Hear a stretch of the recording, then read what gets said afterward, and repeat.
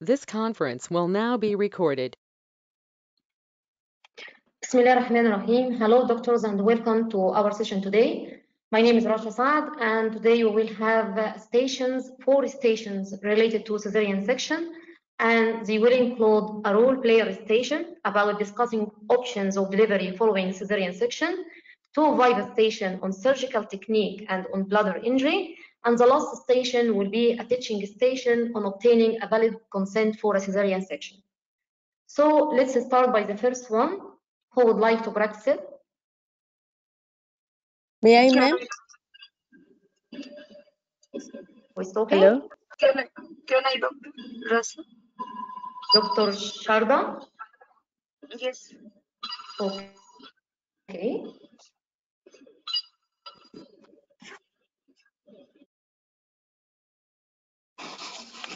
So, here is your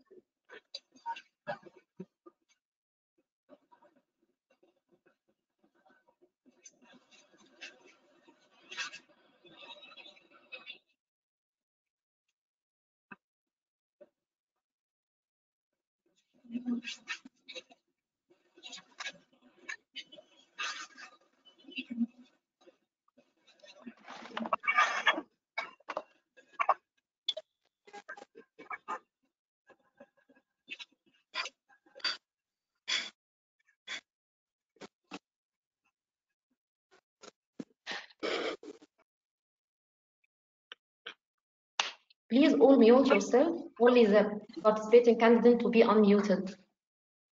Can you please all mute?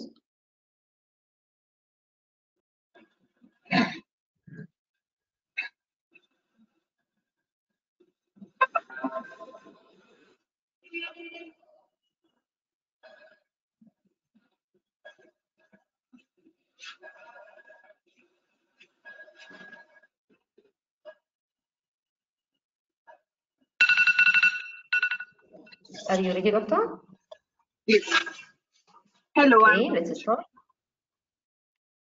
hello, I'm Dr. Shraddha, one of the doctor in the clinic today. May I check in your name and age, please? Uh, I'm Mrs. Jan William. I'm 30 year old. And what would you like to be addressed? Mrs. Williams, fine.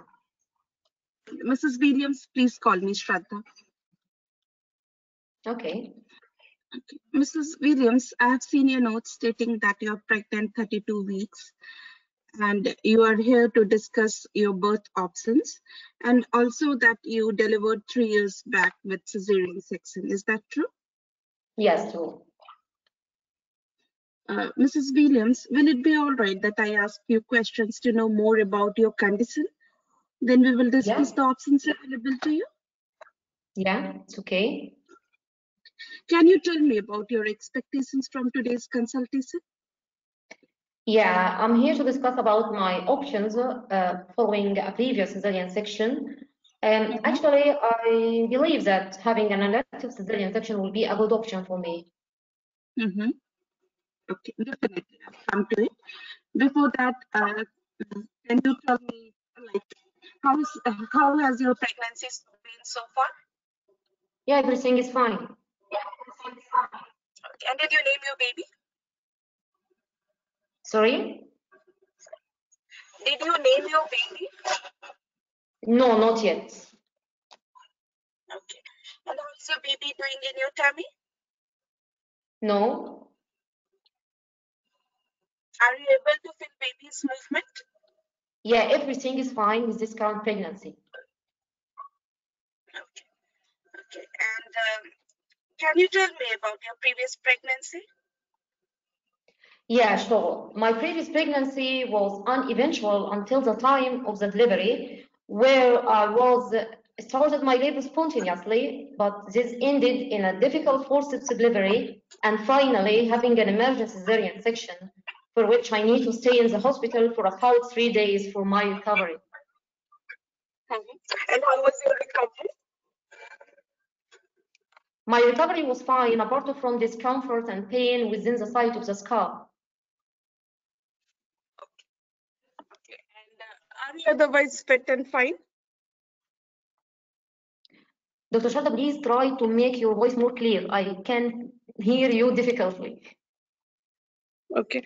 Okay. Uh, will it be all right that I can assess your notes of the previous pregnancy from the hospital Yeah, to see the type of? It's okay. Okay. Thank you so much. Okay. Are you otherwise fit and fine? Yeah. Okay. Any allergies? No. Any surgery apart from the cesarean section? No. With whom do you live? With my husband. And is he supportive? Yeah, he's very supportive. Nice to know that. Uh, do you smoke? No. Take alcohol? No. Any recreational drugs? No. And during the last four weeks, have you been feeling low down or depressed? No, I'm fine. Do you know your weight is to height ratio? Uh, yeah, it's about 26. Okay. Uh, is there anything else you want to add? No. Okay. Thanks for this information. Uh, now I would like to examine you in the presence of a chaperone with your consent. I'll ask my midwife to record your blood pressure and I would like to examine your tummy. I'll uh, I'd like to see the size of your room and also record your baby's heart rate. Will it be all right? Okay. Okay. Okay, uh, Mrs. Williams, as I can see that you had a previous one cesarean section, uh, may I know how many children, what is the family size you want? Yeah, I'm planning to have at least four children. Okay. So as you had previous one cesarean section and you want to have uh, let's say the next this baby also with uh, with surgery, so definitely having uh, so, uh, having cesarean section is very good, as you can plan the date be, uh, before it, isn't it? Yeah, that's why I'm keen to have a cesarean section, especially, you know, one of my friend was uh, told that having a vaginal birth following a cesarean section will be a good option for her, but finally she ended by having another cesarean section as an emergency. I don't like to go through all of this. Yeah, I'm so sorry to hear that that your friend had a unpleasant experience. But every patient is different, and we will try our best to make you this experience to be a good one. Okay. Okay. Okay. So as I was telling you, previous surgery we can plan the date. However, in one out of ten women, uh, one of ten women, she can have delivery before that. Okay. Oh, still. Yeah. And apart from that, the if you want to have a surgery, then the recovery will be delayed, and uh, you need to have uh, you need to have more help during your recovery phase. And uh, mm, and uh, also, I want to tell you that in your subsequent pregnancy, there would be increased risk need for having a cesarean section as I can see that you want to have four children. So as the Mhm. number of cesarean section increases, uh, there is an increased risk that the afterbirth may adhere, adhere to your womb, and that may make further surgery more difficult. Uh, you, uh, are you with me? Mrs. Williams, are you with me? Mm, yeah. Uh, On the Mhm. other hand, uh, I'd like to, Yeah. uh, do you want me to tell you about the other option also?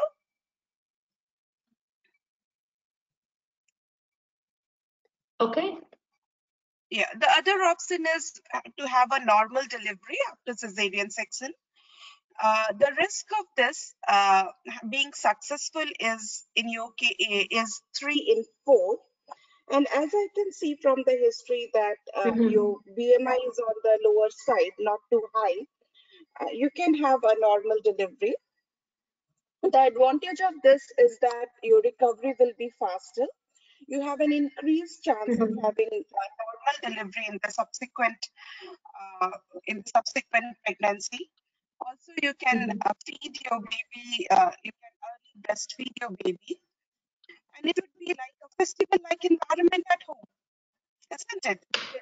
A festival-like environment because you will have early recovery and you would be less dependent on other, isn't it? Okay. Uh, there are certain risks also with previous uh, of going for a normal delivery. As you know that uh, there is a chance that you can land up in emergency cesarean section. Uh, one in 200 women can have uh, may have uh, um, may have a risk that the scar may be uh, may give away. Also, there is a slightly increased risk of having neonatal uh, uh, stillbirth also. It is just uh, same as having uh, delivering a, a normal normally for the first time. Okay. Mhm. So uh, so uh, so for that it is important. interruption. Can anyone the clear if the voice is? I'm sorry, Dr. Sharda, for in- interrupted from my side or from Dr. I'm sorry, Dr. Sharda, to interrupt you because I can feel you difficultly. Is the voice is interrupted for everyone or it is from my own side? Your voice is interrupted. Side. Yeah, it is quite low from Shraddha's side. Hello, am I audible now? Yes, now it is. Yeah, I can feel her voice. inter- Yes. So, uh, yeah, so to have those things, uh, so it is important that you deliver in the hospital where we can do uh, good monitoring of your you as well as Mhm. your baby. Okay, Okay. Mrs. Williams, So, uh, do you uh, have any questions what kind so of far? monitoring you will offer to me if I, Yeah. I'm going to deliver to the hospital? Why? We will put an IV line. for me? Yeah. Uh-huh. Yeah, we will put an IV line so that uh, if any medicine is required, we can give that to you. And also we will do the CT, uh, we will uh, record the uh, heart rate of the baby continuously to uh, Mhm. to see that uh, you're, you're progressing well and your baby is coping well in the labor. Mhm. Also, uh, the consultant will be there and the baby doctor will be there to take care of you as well as your baby. Okay. Mm, Okay. Do you have any questions so far? Mm, Actually, I'm still confused. I can't take, can't make my decision right now. Still, I need time Yeah. to decide. Yeah, definitely. Yeah, I'll give you a patient information leaflet of our uh, of the RCOG so that you can know of our trust so that you can know more about the condition and uh, and uh, you can Mhm. discuss with your partner. If you wish, I can offer you another appointment with my consultant also if you still have more queries. And after Mm. that, whatever you decide, we will support you in that. Also, I'll write back to the our uh, to the co- your community midwife about our discussion. Okay. Okay. Thank you for your time. Thank you, Dr. Sharda. Thank you for your sharing, and I'm sorry for this interruption. I'm so Um, sorry I can hear most of what you said. No, no, no problem. So uh, you did it very well. From the start, you confirmed the aim of the consultation and uh, you introduce your name and your role and where you are in the antenatal clinic. And you take details of, of her previous pregnancy and the events of her previous delivery. And you ask her permission to review her notes you take proper history taking, especially when you're asking about the BMI, which could affect the success rate of the VBAC, especially also when you ask about the fertility wishes and take her wishes in consideration while counseling her about VBAC. Uh, and I think that you have good communication with the patient. You can interact to him, to her, and respond to her concern.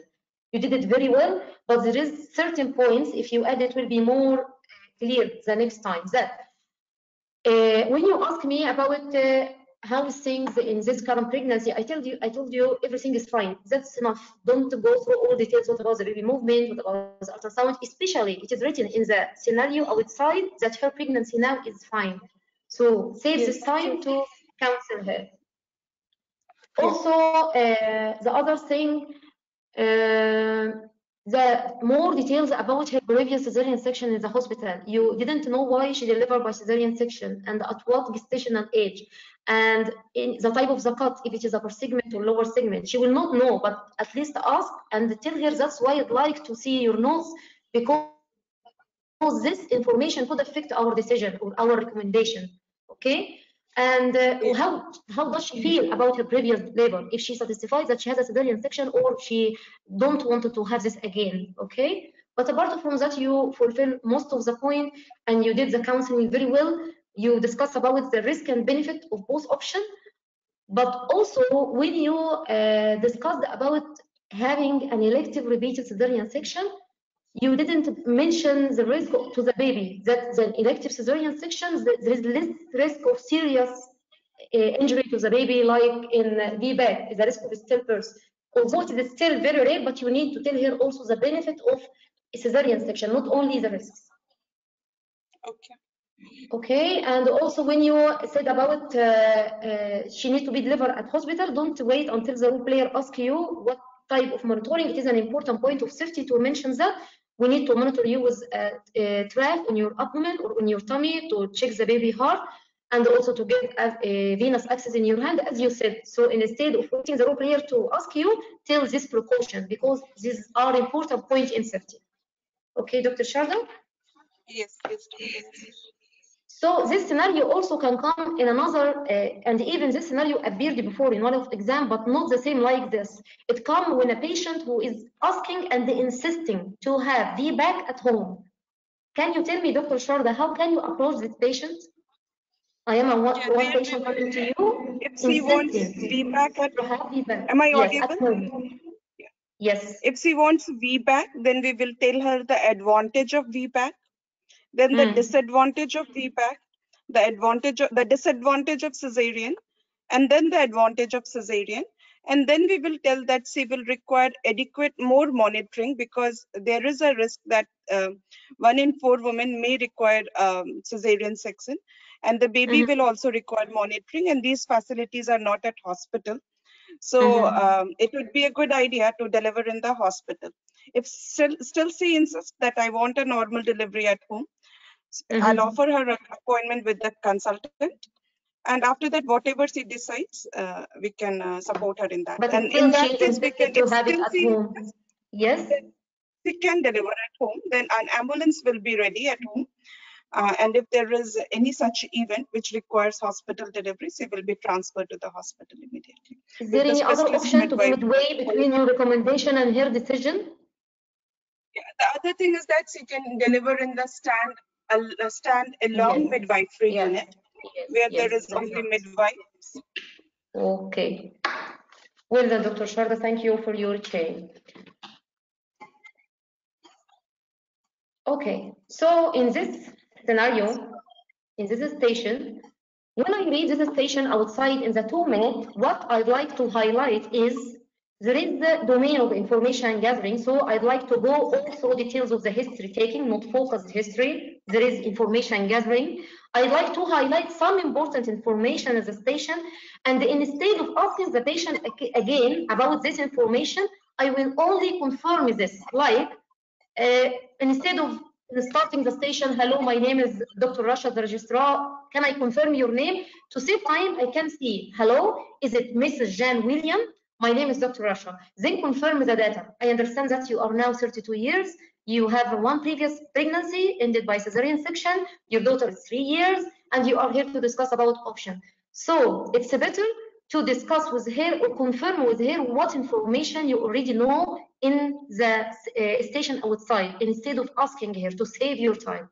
Okay, So when I am in the two minutes outside the station, I will highlight important points like her age, the domain tested, uh, that I don't have details regarding her previous delivery, so I will put in my mind that I'd like to ask about details of her previous delivery. I can see that she's now 32 weeks, and also Dr. Sharda, you missed this point. This woman is now 32 weeks. I'd like to put plan for her for the remaining part of her pregnancy. I will tell her that you will continue your uh, uh, follow up with the midwife. And if by 40 week of your pregnancy, you will not start labor spontaneously, at this time we need to have another appointment to discuss your option because you can discuss with her now about induction of labor. So you need also to put plan for the remaining part of her pregnancy. Okay, so this is how I can this is how I can read this station in the only two minutes. Highlight the main points and put in my mind skeleton to go through inside the station in order to save my time, the only 10 minutes to finish the station in. And another also uh, uh, part for you, Dr. Sharda, uh, patient information leaflet and support group, I said before, instead of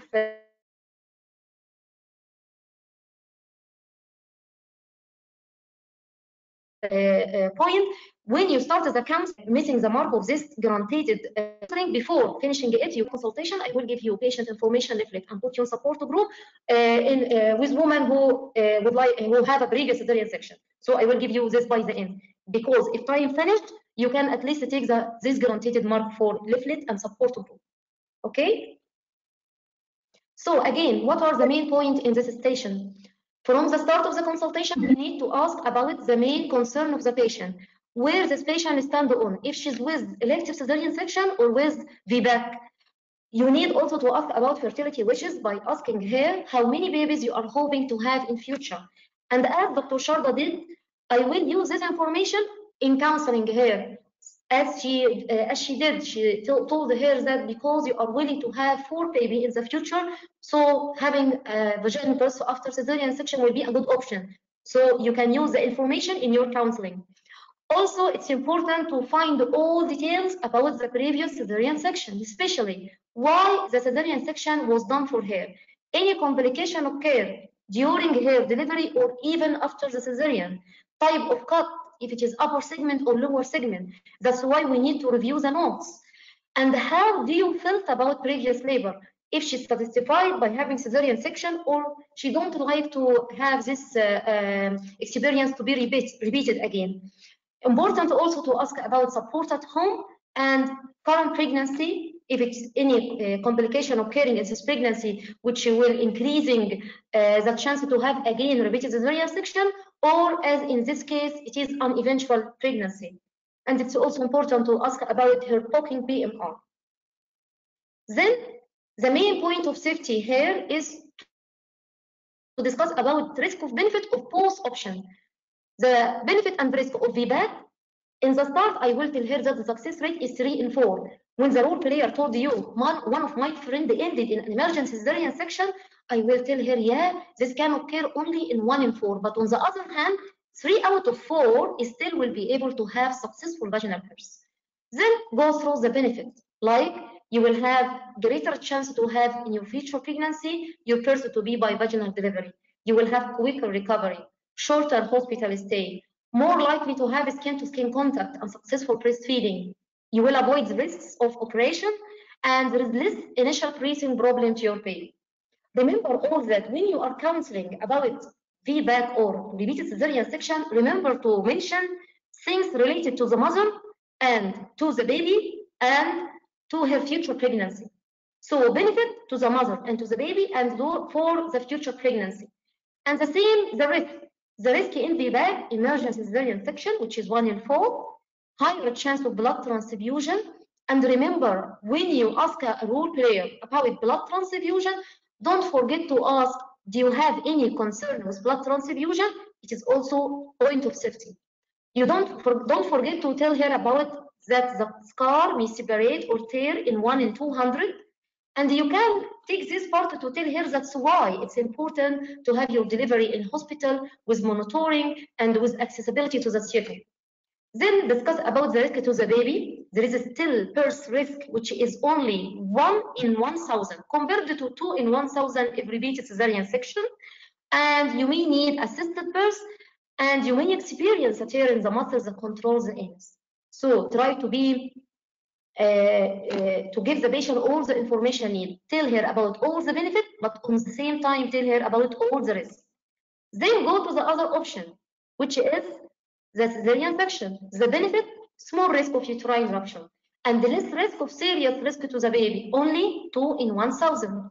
But on the other hand, many risks.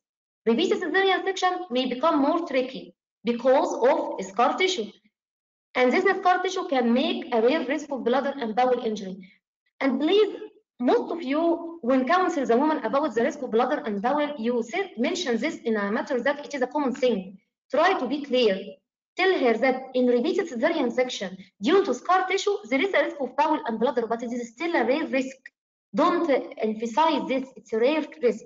But the common is you will find you may suffer a wound infection, you may have discomfort in the scar, you may need blood transfusion, and as any surgery, there is a risk of blood clot, longer recovery, and your future pregnancy more likely to be by a repeated cesarean section, and they tell her about the complication with adherent placenta and uh, the risk of hysterectomy. Don't forget the risk to the baby, like cutting the baby skin, and the baby may need may suffer initial breathing problem. That's why if the woman wanted to go for elective cesarean section, it will be after 39 weeks. Don't forget to tell her about how you will deliver her in a hospital with availability of CTG and neonatal resuscitation and immediate access to the theater and the IV access. Here is the precaution and all of those points are important in safety. Don't forget that this patient is only 32 weeks pregnant, so we need to put plan for the further pregnancy. If this woman don't start labor spontaneously within fourth week, we will arrange another appointment to discuss your option. Because if we offer her induction, don't forget to tell her there is two to three fold increased risk of uterine rupture and 1.5 fold increased risk of cesarean delivery in case of induced or augmented labor compared with spontaneous VBAC. Don't forget to tell her to follow her pregnancy with the midwife and attend to the hospital in case of she have any labor pain or whatever uh, read symptoms that she can come to the hospital and give her with the patient information leaflet and support group and don't forget to document in her note the agreed plan for this patient and you can arrange another meeting with the consultant if she still are not able to make her decision hopefully this station is now clear anyone have any question related to it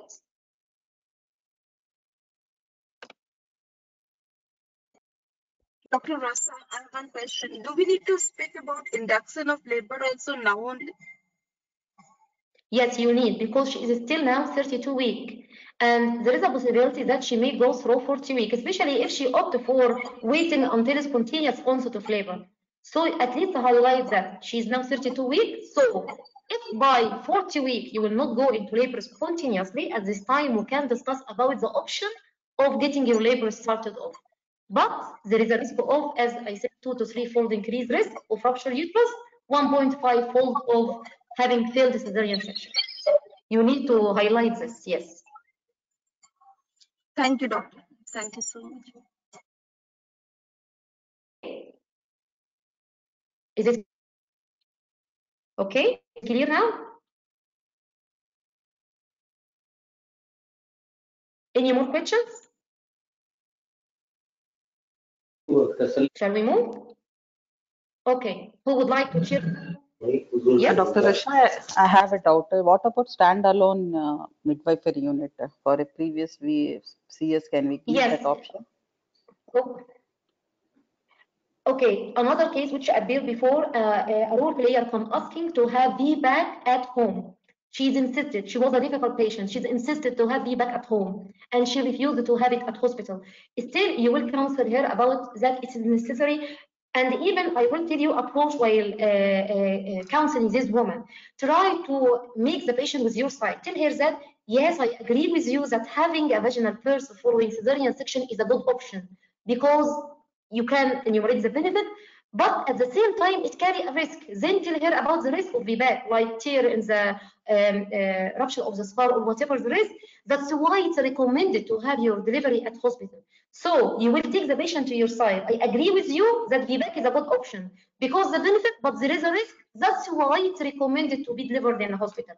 But at this time, if the patient is still insistent, you will tell her that still there is another option, which is the midwifery unit, which will be just upstairs from the uh, theater in case if we need access to the theater. And in this station, you need to ask her about options at home. How far the home from the hospital? How uh, much it will take if we need to transfer you by the ambulance to the hospital? And you can use this information during counseling. This says that it is about 30 minutes from hospital. So tell Uh, Dr. Rasha, it's not only the distance no, which matters. See, even it's even wrong with the your baby or first with you. Didn't don't you just imagine if something when you think that 30 minutes will affect your safety and your baby, how you can counsel this difficult patient. But by the end, if she insisted, you can tell Oh. to involve my consultant. Am I clear? more than that because the because the previous years she needs uh, CTG monitoring. Hello? Hello, can you hear me? Hello? Hello? Yes, yes. No, no, it's even the monitoring Yeah, I hear per you. se. It's even uh, coming to the monitoring per se, it's uh, in a midwifery unit, uh, we- don't have a, CTG facility. So in such cases, can we keep, uh, can we give an option of delivering her in a midwifery unit?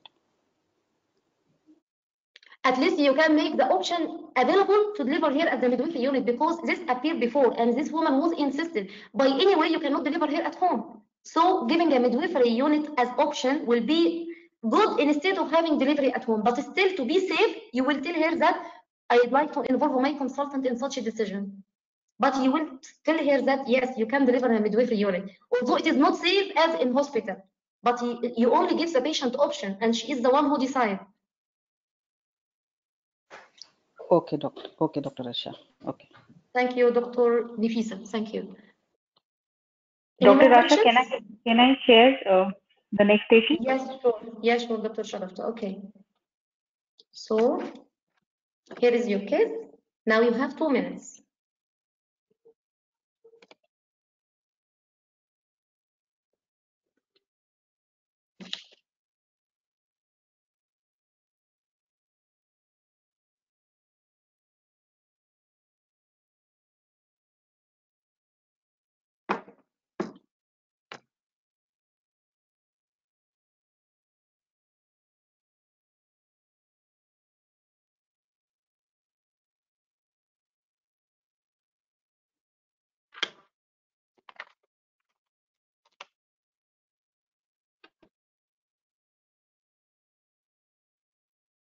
There is another paper. Would like to? Would you like to see?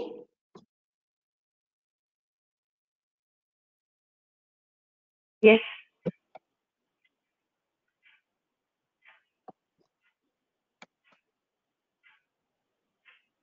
Here is the question.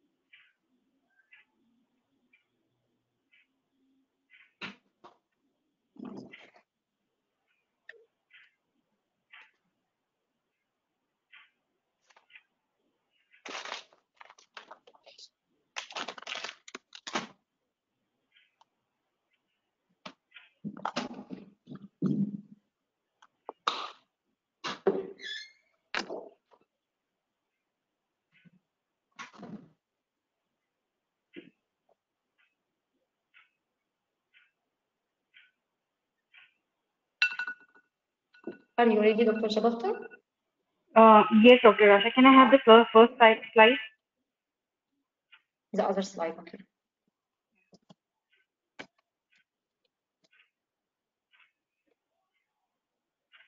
Mm, Can I start? Okay, but take the questions. Yeah. Okay, start. Um, uh, hello, I'm uh, Dr. Shagufta, one of the exam candidates. I've read the scenario and I'm ready for the structure. Okay, here is your question. Answer all of them.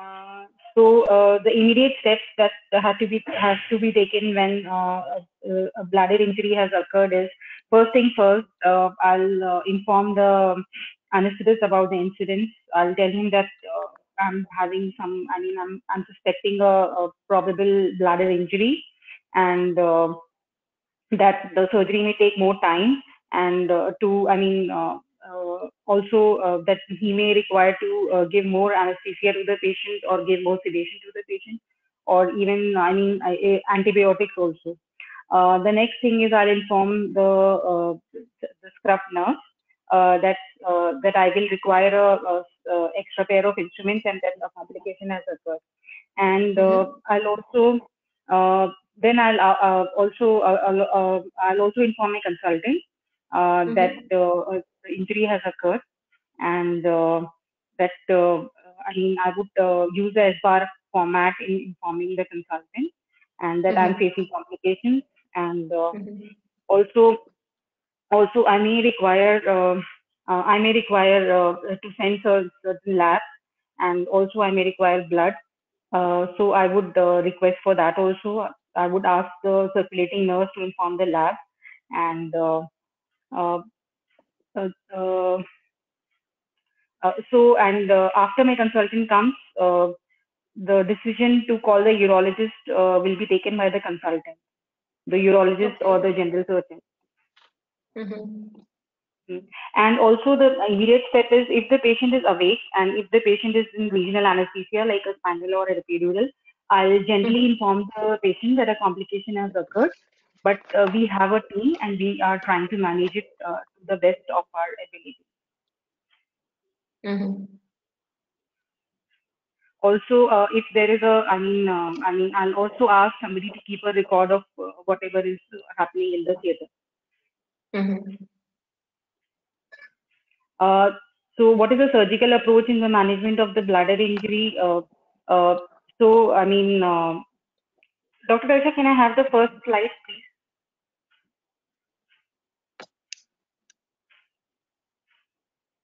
Mhm.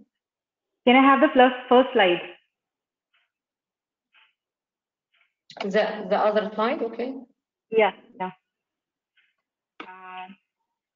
uh, so my next approach would be that uh, if it is safe to deliver so uh, i would uh, i would without injuring the bladder further i would uh, deliver the baby safely and uh, uh, if uh, i mean if my consultant has come by that time then uh, the decision to call the urologist or the general surgeon or So- to undertake the bladder What uh, repair uh, What do you mean by if it is safe to deliver the baby, I will deliver the baby? Will you deliver the baby or no?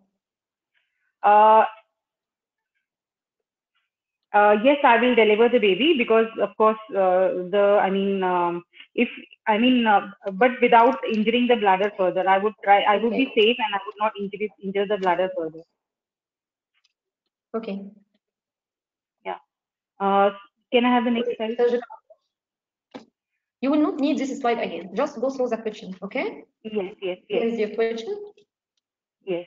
Uh, so the next thing is what is the surgical approach? Uh, so my surgical approach would be uh, that um, uh, using uh, two layers closure closure with either 20 or 30 uh, polyglactin sutures and a running non-lock suture will be used and the sutures will be placed um, 0.5 to 1 centimeter apart and um, Mhm.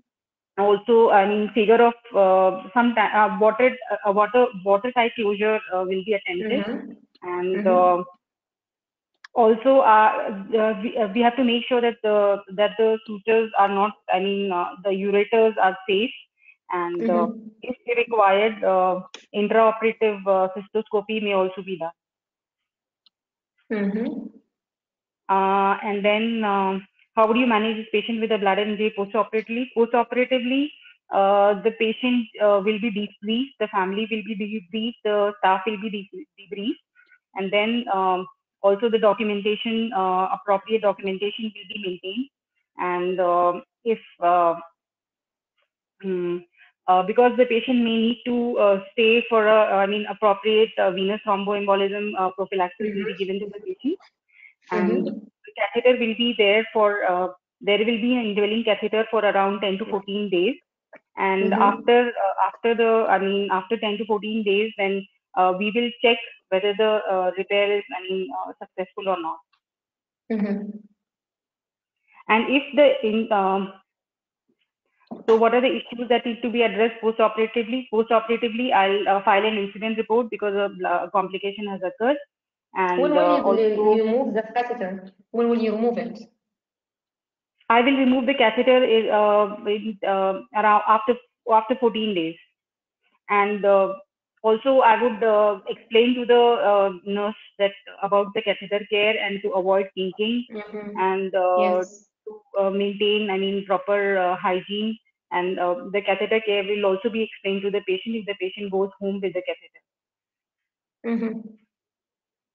Uh, what are the issues that need to be addressed post-operatively? Uh, post-operatively, I need to file an incident report because a complication has occurred, and I will be honest with the patient. I will do my duty of candor. I will explain that a complication mm-hmm. has occurred, but it has been managed, and mm-hmm. um, I would uh, tell the patient that uh, we have filed an incident report and we will be hmm. keeping the patient in loop of uh, what the, uh, I mean, this uh, report, uh, I mean, what the investigation is uh, going to be, I mean, what the results of the investigation are going to be.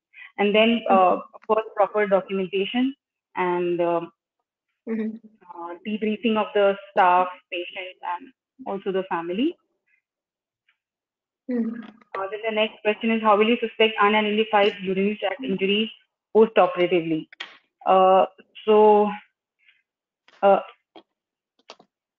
uh so post-operatively, uh, unidentified urinary tract injury uh, can be identified by if the patient has any complaints, like if she's with a catheter and if she has hematuria, or if she has, I mean, anuria or oliguria, and Mm, then um, uh, uh, any I mean raised uh, levels of creatinine and uh, if if there is an indwelling drain and if the drain shows some uh, mm-hmm. uh, urine-like fluid coming out of it, then this is how I will suspect a uh, urinary tract injury.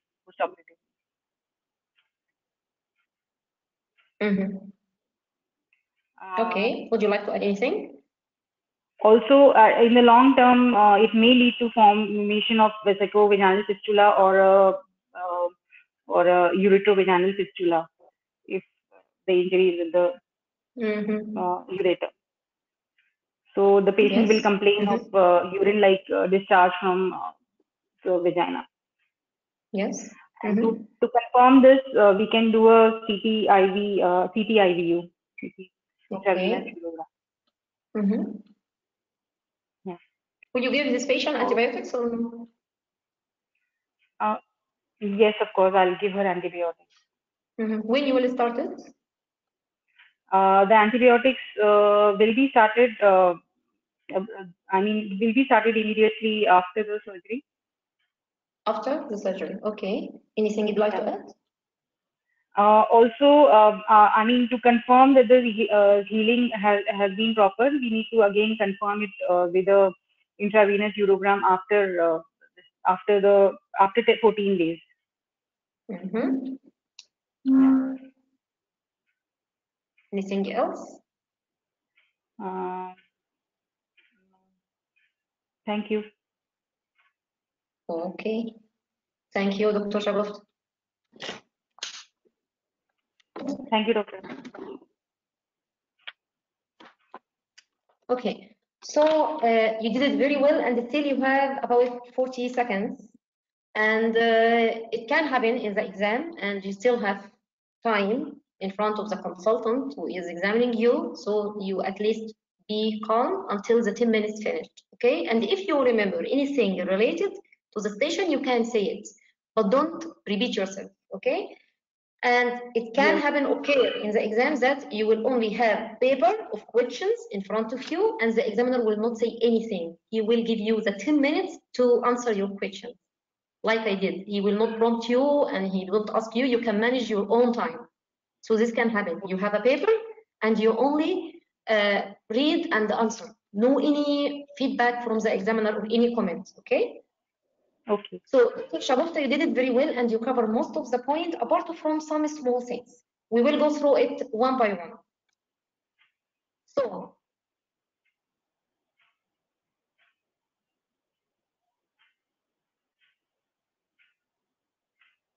highlight when you read this station is what you you will uh, the two minutes. I emergency cesarean section baby. At least you you will not uh, fetal distress. So don't forget to deliver the no don't add to the blood injury, but wait for, uh, for the uh, if it is safe, I will deliver the baby. No, so then uh, don't say like you said you will deliver the baby. You if you wait until the consultant, the baby will die. So it's an emergency cesarean section, and you are certified, you are competent to deliver the baby.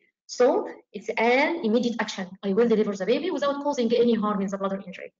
I will highlight that it's two previous cesarean sections, so that's why it's uh, it's clear fluid is seeping, so I'm suspecting now there's the operation. Uh, that there is a bladder injury. Then it is written that it's an injury, which is confirmed. Then, uh, then I see that there is five questions. Sometime in the exam, you will not find the question outside the station. When you enter the cubicle, the examiner will give you the paper of the question. But at least you need to put in your mind that there are five questions. So try to manage your time. Don't give any question more than two minutes. Okay? So here are the important points that needed to be highlighted. It's an emergency cesarean section for previous two cesarean section, and it is confirmed that it is bladder injury, and I have five questions. So when I enter the cubicle, I will um, say, hello, my name is Dr. Rasha, and that's it. Don't say I am one of the examiner in the exam, uh, one of the candidate who is performing the exam. Of course, the examiner will know that. Don't waste time in in this uh, uh, introduction, long introductions. Just say your name. My name is Rasha. That's enough. Okay. So the first question, and whenever you find a question in a Viva station like this, what is your immediate action? What are the immediate steps? Remember also, in immediate action, you will go through three main points: communication, resuscitation, and confirming the diagnosis if it's not confirmed. Here in this station, it is confirmed it is bladder injury, but sometimes it will not be confirmed and it will be like you suspect or you see uh, fluid seeping through, the intraperitoneal coming out in the intra, intraperitoneal cavity. So here the diagnosis is not confirmed. So your immediate action will go through three points, communication, resuscitation, and the confirmation of the diagnosis. Here the diagnosis is confirmed. So what I will do only resuscitation and communication. And remember, you have a mother and baby. So resuscitation will be for both the mother and the baby. So communication, who I will communicate with, with all the theater team, telling them that I'm facing complications, there is a bladder injury. I will communicate with the anesthetist, and here's point of safety is that I'd like to resuscitate the woman by asking the anesthetist to start immediately intraoperative antibiotics. It needs to be started intraoperative, not postoperative. So here is the resuscitation to the mother. Resuscitation to the baby will include delivery of the baby. I will proceed to the delivery of the baby and close the uterus also. I will not leave the uterus bleed until the consultant arrives. I am ST5. I will deliver the baby and close the uterus and wait until the consultant arrives. But this is emergency. Need to deliver baby and close the uterus. Here is the resuscitation to the mother and the baby. Communication, as you said, I will communicate with the theater team, with the anesthetist, with the consultant, and you did well by saying using this part tool and you need to determine where is the site and the extent of the bladder injury. Sometimes the examiner may ask you, how are you going to tell the consultant about the, this complication? So you can explain how you are going to apply Spartan. Like uh, I will uh, call the consultant or someone will call the consultant. I am uh, uh, Rasha from the theater. I'm facing a case of blood range during cesarean section. Then give him background about the condition and tell him what you did um, I deliver the baby, I close the uterus and waiting for your support and ask for her or for his recommendation. Then you need to alert at least the urology team. Someone need to alert the urology team. Whether the urology team will come or not, it will be decided by the consultant. But the urology team need to be aware that there is bladder injury. Also, if the mother is awake, you will inform her. So here's your immediate action, communication and resuscitation. Coming to the next question, what is the surgical approach in management of bladder injury? You did it very well. You said that uh, we need to rule out ureteric and trigone injury because if it is the case, here the repair need to be by a urologist.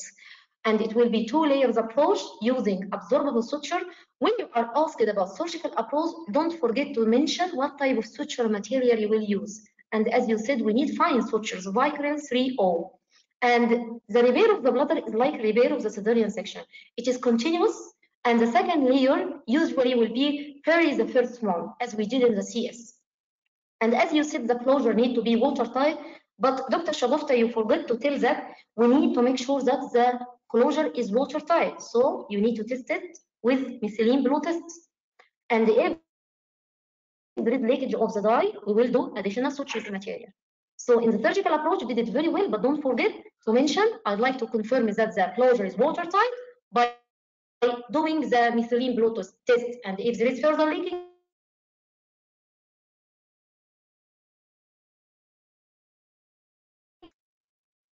how would you manage? We need to do additional sutures.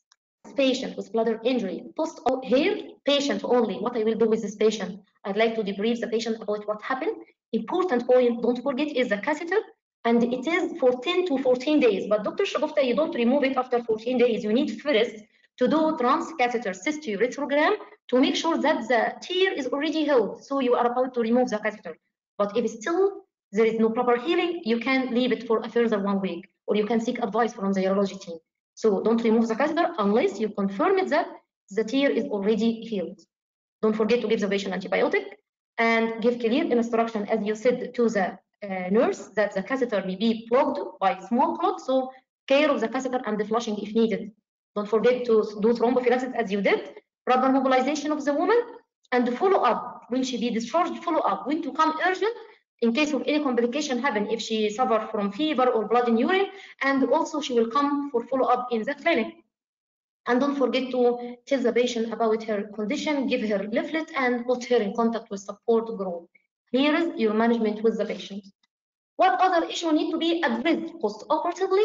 As you said, documentation, duty of conduct, do a reflective practice about what happened with my supervisor and write it in my portfolio and write down an incident report. The other thing is, how will you suspect unidentified urinary tract injury post-operatively, and this is the most cases that we cannot identify it intraoperative. If it is minor injury, you can see this patient suffering from resistant loin pain. She may suffer from abdominal distension, heavy blood stained urine, persistent, and she may have poor urine output in presence of normal post-operative observation because the urine here is leaking in the peritoneal cavity, or she may present later, as you said, with the, uh, uh, uh, with a fistula and come suffering from urine draining vaginally. Okay, you covered, Dr. Shagufta, most of this point, but don't forget about delivery of the baby, about confirming the leak of the methylene blue while doing the repair. Don't forget about the antibiotic, and don't forget before removing the catheter to do methylene, uh, uh, sorry, to do uh, intravenous cystourethrogram. So, Yes, anyone have Dr. any Asha. Thank you, Dr. Shagufta. Thank you, Dr. Asha. You're welcome. Any question? Uh, Ma'am, I have one question, please. Yes. In that case, there is emergency cesarean section, so we have to deliver the baby. If uh, by chance, if there was elective cesarean section, then what we have to do? Still, we have to deliver the baby and close the uterus. If you do the injury before opening the uterus, before opening the uterus, and the, it is ele-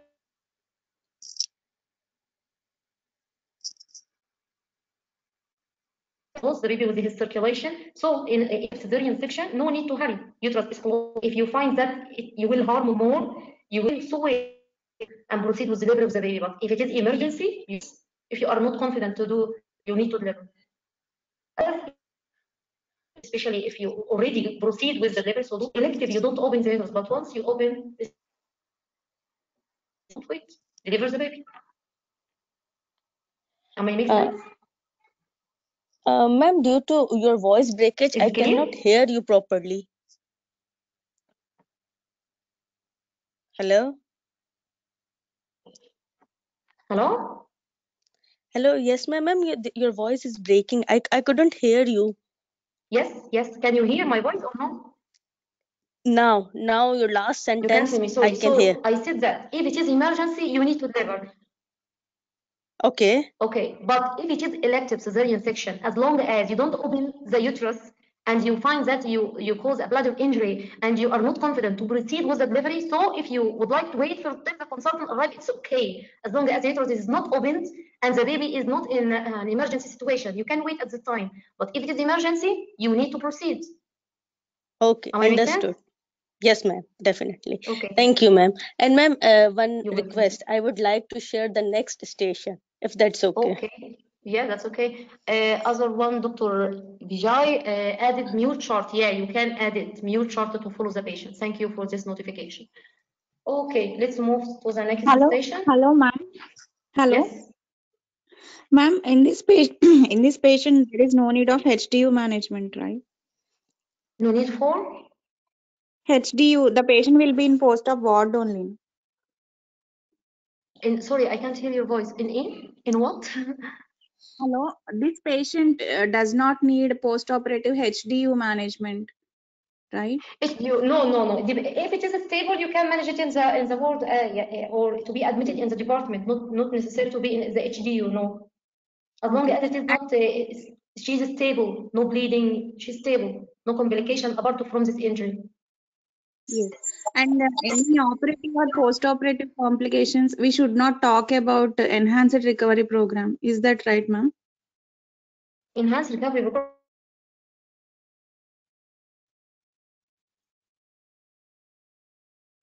Hello? In complication, how you would like to apply it.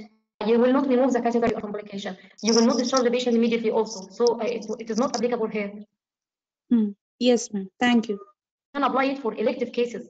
Like enhanced recovery pro- program, you can have a woman coming and uh, she's about to have cesarean, you can apply enhanced recovery program. But here, she's suffering complication, it's really difficult. Yes. Thank you, ma'am. Okay. You're welcome. Any more questions? Assalamualaikum. Walaikum Assalamualaikum, salam, Dr. Dr. Hassan. Sam. Yeah. Can I see the next slide little bit? Walaikum please? salam, I hear you. Yeah, next slide, please. A little bit. Can Okay. Thank The next slide. you. Yeah. Okay, shall we move? Dr. Rasha, I have one question. Okay, uh, Doctor, who would like to? Uh, ma'am, me, you can tell me your Sumaira. I have just one question, Dr. Rasha. Who will- Can we speak? Yeah, Dr. Sumir. Okay, you have two minutes now. Thank you. Yeah. Okay. Dr. Rasha, can I continue, please? I want to ask one question. Huh? What is your? Yeah, sure. I want to know whether we should say that in the post-operative period, we should ask the midwife to keep an eye on the bladder, that is the in. Your voice is not clear, Dr. Sharda. Your voice is not clear. I can't hear you. In the post-op period, can we say that uh, we will ask the midwife to keep an eye on her input output and there should be no kinking and clots in the catheter? Can you type it question, please. Dr. Sharda? Can Can you type it?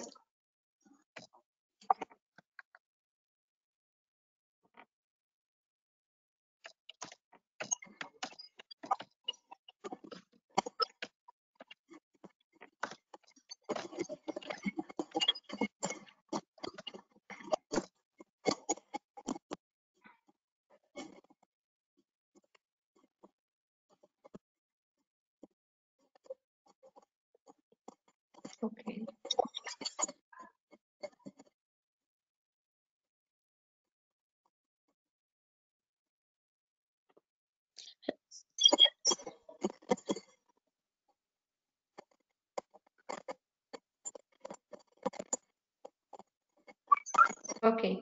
Okay. Dr. Sharda, type your question and I will read it. But please mute yourself.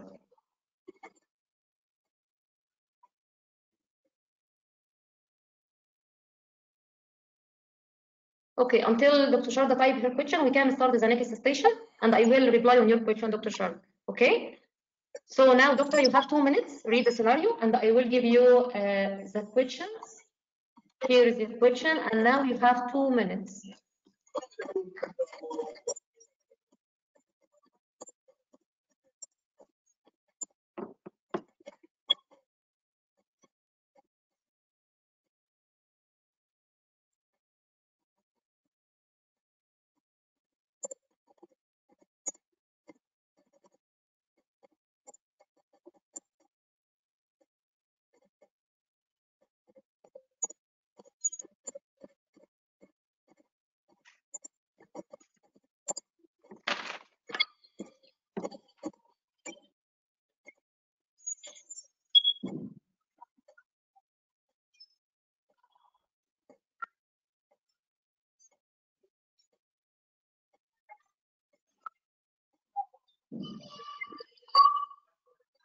So, Dr. Sharda, question that can we say that in postoperative period, we will ask the midwife to keep on catheter that there is no kinking clots and keep an eye on input and output? Yes, sure. We said that. We said that we will give her clear instructions about the catheter, especially if the catheter become clogged because of blood clot, she need to do flushing for the catheter. Yeah, you need to mention about care of the catheter.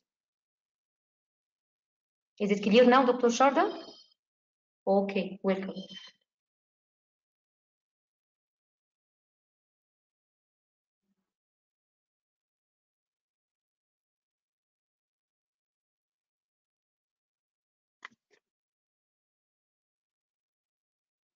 Dr. Som Somria, would Yes, you ma'am. start this? Yes, ma'am. Hello, my name is Dr. Sumaira. I'm one of the exam candidate and I'm ready for my discussion. Okay. Here's your questions. Okay. So, uh, indication of elective cesarean section can be uh, maternal and fetal. Maternal Mhm. include uh, previous two or more cesarean section, previous history of uterine rupture or classic uterine incision, or any uh, uterine surgery which led to breach in the cavity like myomectomy, and uh, placenta previa major Mhm. and maternal include if the baby is a macrosomic baby if primary breach or mean there are other baby? sorry What do you mean by macrosomic baby? macrosomic baby if more than uh, 5 kg weight then can we proceed for elective cesarean section after discussing with pros and cons with the mother Mm-hmm. these can be the indication of elective cesarean section the other Mhm. is uh, counseling of the woman if without indication patient is uh, requesting cesarean section first of all uh, i have to make the clear for the patient that i will respect his autonomy her autonomy and uh, definitely i will inform everything every risk for the patient Mhm. about the Mhm. cesarean section in terms of especially future fertility like uh, i will inform risk and benefit i will inform about the option vaginal delivery and cesarean section i will not try to i will definitely not patronizing the patient because the patient definitely has his autonomy but i Mhm. will inform all the risk especially the serious risk that Mhm. include the placenta accreta uterine rupture in the next pregnancy and uh, can lead Mhm. hysterectomy even the risk of death i should explain if the still patient is insisting that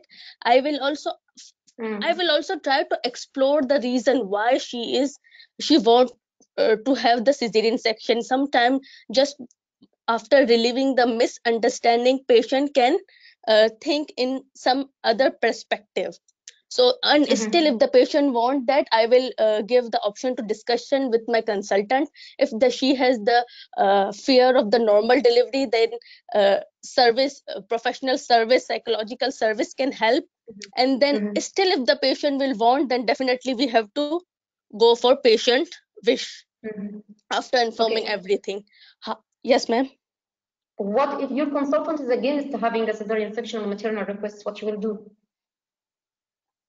if the like we, we will give appointment to both of them to discuss if still he doesn't want that and patient uh, have the wish for that that uh, we can refer to other consultant Mhm. Okay. how and the patient should be prepared for cesarean section uh, in to make to have them safe surgery i have to do uh, see the history to see for any risk factor just to make more patient more safe like whether she has i will see the history examination and investigation i will divide my things to that and on history i will see any contraindication any previous surgery and uh, whether she is anemic or not and any reservation for blood transfusion and uh, Mhm. then on, uh, examination i will see uh, the presentation and uh, uh, ctg and after that i we will uh, do the patient we will take the blood for full blood count Mhm. blood group for Mhm. anti-D purpose also and then uh, full WHO checklist should be done and uh, antibiotic prophylactically should be given 30 minutes before uh, incision and uh, catheterize the patient antacid should be given according to hospital Mhm. protocol and uh, anesthetic should see the patient this and uh, a Mhm. placental site should be Will you do cross uh, matching for any woman doing an elective cesarean group and save or group and only will save do grow and save? yes ma'am Mm, if, okay. if she is not if she is low risk if there is a placenta previa or high risk then- i will do cross match what are the incision Yes. uh, there can be uh, classical uh, in skin incision can be vertical or low line Joel Cohen incision is Mhm. at the superiority Mhm. and uh, uh, abdominal entry I, after the skin incision i will uh, try to open the blunt entry to enter What the abdomen injury? What other sorry types of skin injury you know apart from joint pain? Jo- You said joint pain. What other skin incision you know? uh, I know, but that is not at the top of the, my head. I know we are doing, but at, Okay. at that time I cannot. Okay. No And uh, uh, I will enter the blunt entry to the abdomen Mhm.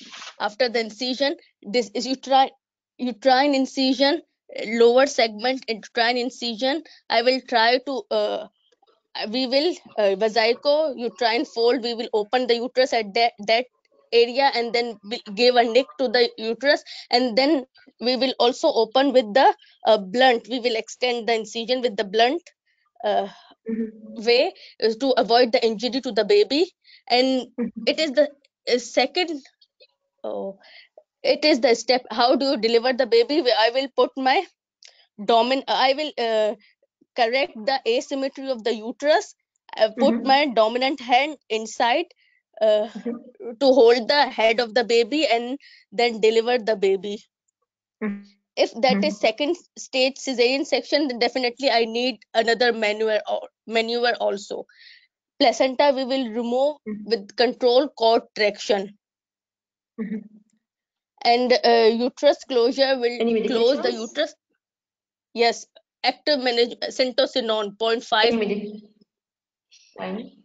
0.5 international Okay. unit sorry 5 international Mhm. unit iv and Mhm. uh, uterine uh, i will close the uterus in double layer uh, with vicryl 1 and then uh, no need to uh, if no need to close the peritoneum will close the rectus uh, with vicryl and uh, you, i will take uh, 0.5 to 1 centimeter apart stitches in continuous locking uh, manner and then uh, if the uh, fat thickness is less than 2 centimeter then no need to close that and after that uh, we will skin suture skin uh, at subcutaneous continuous manner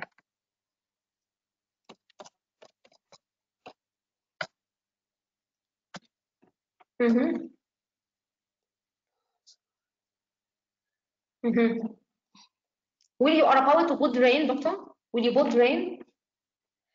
If needed, uh, it is not uh, always necessary to put a drain if i will see there is a hemorrhage and there is a difficulty in controlling hemorrhage and the patient is increased risk of bleeding like inherited uh, thrombophilia or any other indication that i feel that it is increased risk of bleeding then i will put And what type of drain you are about to put if you will put it?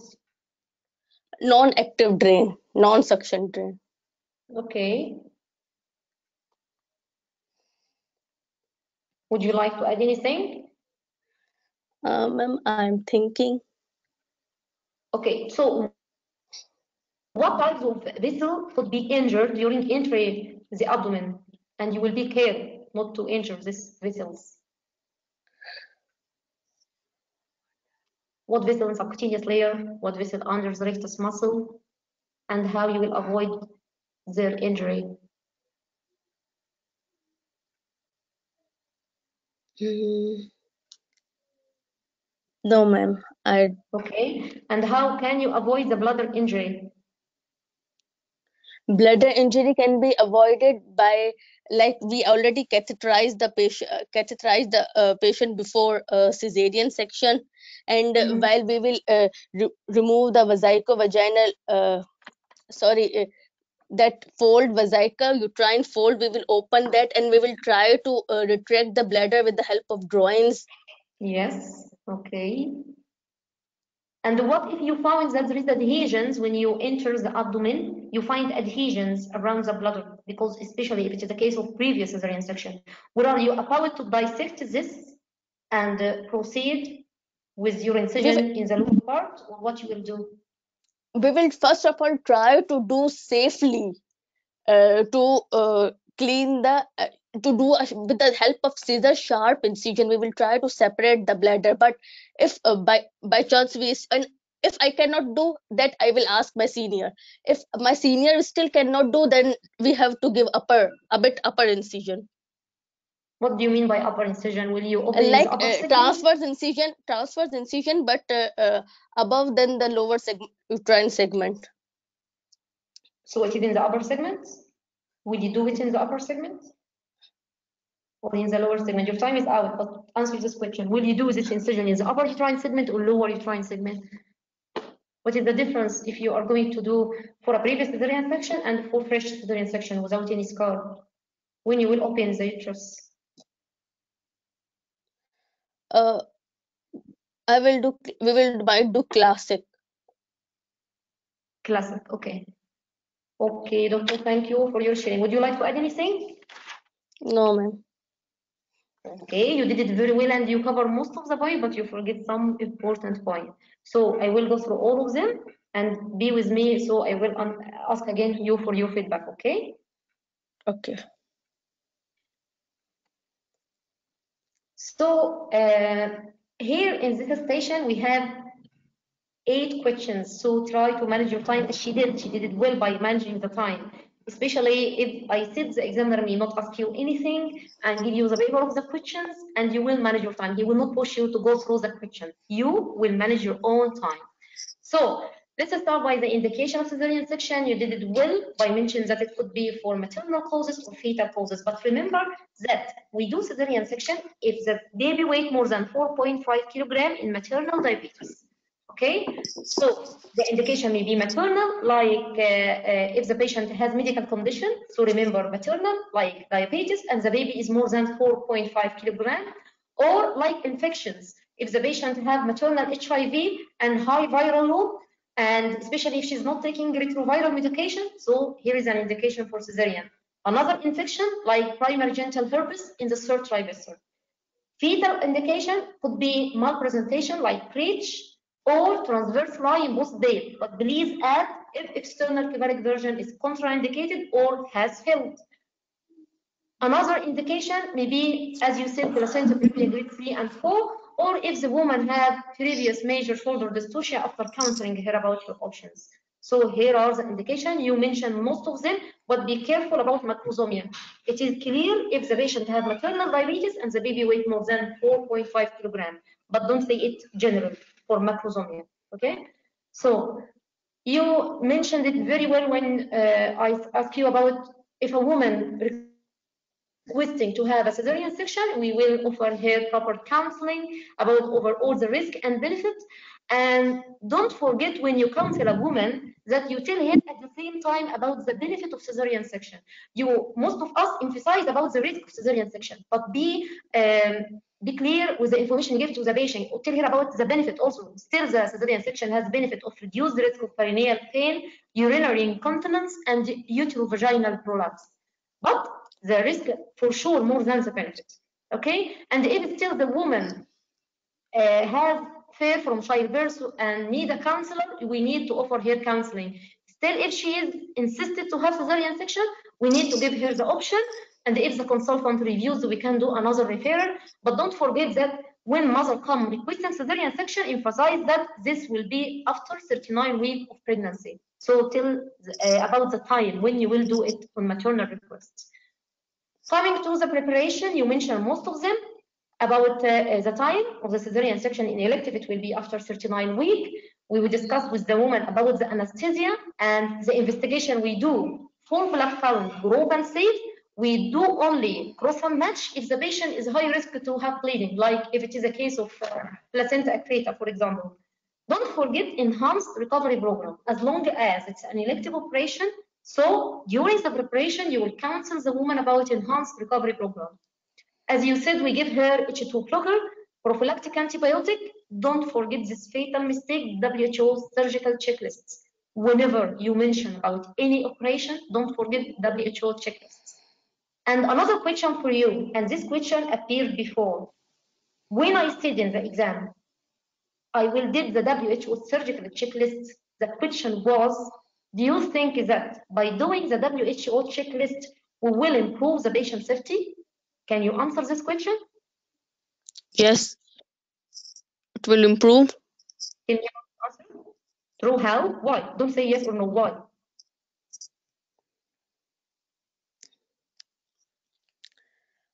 Uh, no, I don't know.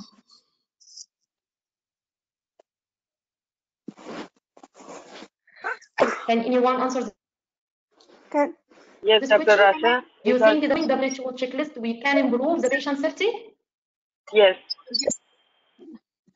Yes, Dr. Yes, Rasha. doctor. Yes, we'll check. It goes by, Hello? by W. Hello. Hello. Mhm. Yes, I hear you. Can you can you hear me? Yes. So that means um, all uh, team members they will um, Yeah, I hear you. introduce themselves. Yeah, they will introduce themselves and also patient uh, uh, identity uh, and patient has any drug history or beforehand. Everything anesthetist will check also the medication and before induction. Okay, and uh, also the uh, Mhm. anesthesia machine, everything is they'll check. So it is uh, it's, uh, safe for the patient safety check. And uh, Mhm, um, mhm. and also if patient is weak of more than 500 uh, ml blood, so uh, Mhm. need uh, uh, blood transfusion to you know liaise with the blood bank and Mhm. also uh, to put IV Yes, well fluid done, Dr. beforehand.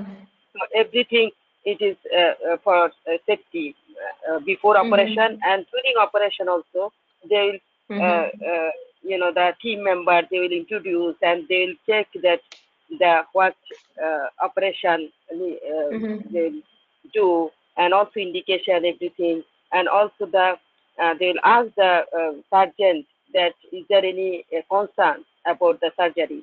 So uh, and any uh, uh, critical step that uh, uh, he will suspect the surgeon. And also anesthesia anesthetist also they will ask that is there any um, concern from the anesthetic side and Mhm. need more blood blood transfusion or and um, Yes. uh, AS level also they check any medical Yes. comorbidity so it will Yes. helpful that during operation there is any uh, complications so it will be Mhm. uh, you know more complicated uh, and um, uh, to manage it will be difficult also so that's Yes, why it will increase increase the uh, patient uh, morbidity and mortality and reduce the complication of uh, uh, postoperative complication. And also when uh, that uh, uh, any team member will go out, that means which is signed out.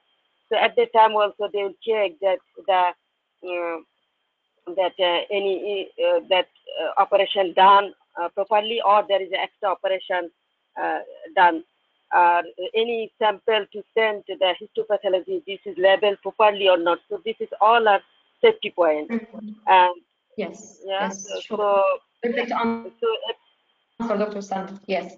yeah. So this is uh, uh, how it will help, uh, you know, the, for WC checklist. This question you can Sorry. Go through the items of WHO checklist and explain how it could add to the patient safety. Here is the WHO Yeah. checklist. Simply, I, I will confirm the patient identity. I will confirm, the say, while I do the sign in the patient surgical site, so I will avoid any mistake of doing an operation on another wrong site, like in case of, say, uh, doing ovarian cystectomy. So by confirming the site of the surgery, I will avoid a serious incident of doing the operation on the wrong side. By confirming if the patient is allergic, I will avoid any serious anaphylactic reaction. Uh, by confirming in the sign-in if there is the anticipated bleeding, so I will take my precautions and save blood and do cross-matching while doing time out and checking, for example, if the patient, uh, the, the VTE risk assessment was done or not. So I will avoid the complication of VTE by checking our instrument and if any uh, concern about it, so we can uh, we can work and improve this instrument to avoid it affecting any further surgery. So simply go through the items of the WHO checklist and tell the examiner how it can improve or can add to the patient safety. Okay. Also, don't forget in the preparation of the patient that the patient after taking the anesthetist, the anesthesia, the anesthesia, she will be lie on the left lateral tilt 15 degree. Here is the uh, preparation for cesarean section. Then the other question is about uh, the surgical technique and remember this main point in whatever surgery or power to discuss in the exam, whatever it is cesarean section or hysterectomy or whatever it could be, here general surgical principle, add this to your answer. I like to maintain sterile operating field, maintain proper exposure, keep tissue handling to minimum, avoid unnecessary dissection and trauma, achieve hemostasis, anticipate problem, count swab and instrument. Those items need to be added to any answer to any surgery. Maintain sterile field, proper exposure, minimum tissue handling, avoid unnecessary dissection, anticipate problem, count, swab, and instruments. Skin incision, we have low transverse skin incision, which is the recommended. It could be Pfannenstiel incision or Joel Cohen. As you can see in the image above, here is the headline vertical incision, which we did. Usually we don't need to do this. We can do Joel Cohen or Pfannenstiel.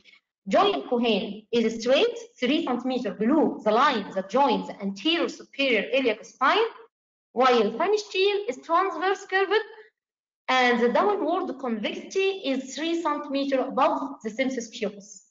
And the skin incision need to be at least uh, 15 centimeter, okay? And we prefer to do low transverse because it is less painful, cosmetically better, and the low risk of wound adhesions than the vertical incision. After doing the skin incision, we go to the abdomen.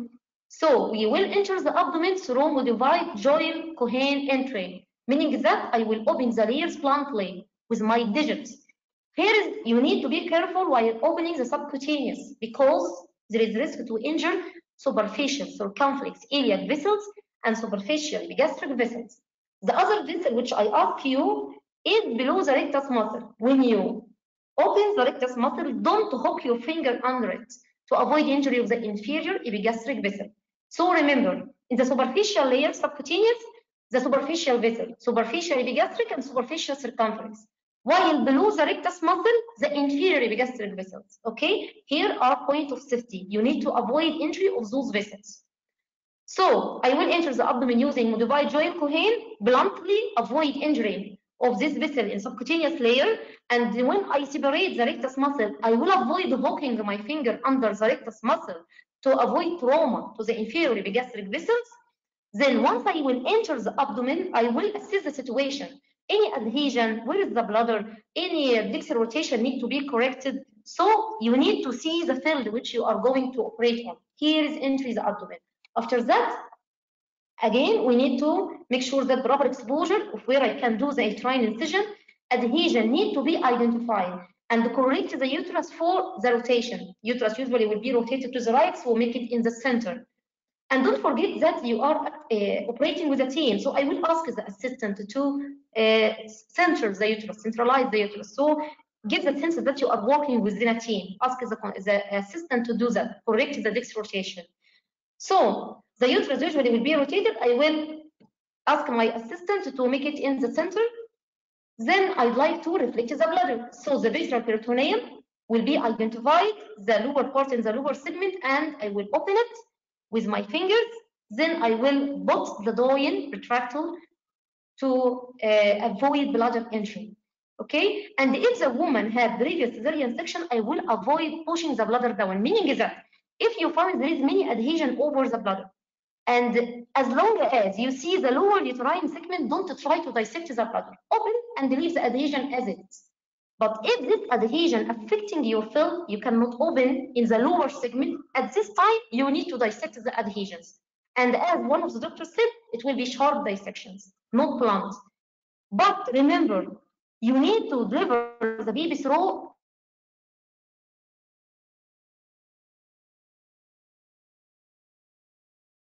is not in the upper segment. The adhesion is not, and that your incision will be in the lower segment, not a cause or not an do up cesarean section. Still, it is in the lower segment, but I it is it is higher than the recommended. The recommended uterine incision usually is one to two centi below the upper margin of lower segment. So the upper margin of lower segment, I will go one to two centimeter below it. This is if there is no adhesion. But if there is adhesion, I can move just up, but it's still in the lower segment, not in the upper segment. Be careful of this answer. So here is a uterine incision, corrected dextrorotation, from the transverse incision 1 2 centimeter below the upper margin of the lower segment. But if it is repeated cesarean section and there is adhesions, I will do it as high as I can, but still in the lower segment, rather than dissecting the bladder up and down. And if you can see the previous scar, it will be good option to go through the previous scar. So attempt should be made when you open the uterus to make the membrane intact. Don't open the membrane of the baby while doing the uterine incision. Try to be to leave it intact because if you do do uh, leave the membrane intact, you will minimize the risk of fetal laceration. As you know, there is two percent risk of skin injury to the baby while doing the uterine incision. So it is recommended if you can leave the membrane intact. Don't open it while doing the uterine incision. Then, if the lower segment is well formed, blunt rather than sharp extension of the uterine incision should be used. So lower segment I will open, then I will do blunt extension and my finger direction to be outward and upward, way to 30, don't to be downward. You will tear more in the vagina, okay? And what if we need to do a wide extension? We will go through T incision or T in, uh, inverted T or J incision. The answer is a J incision is the preferred one if the uterine incision is small and you cannot wide and you cannot deliver the baby, so I will extend it using J incision. As you can see in this image, the image A, this is the lower uterine incision.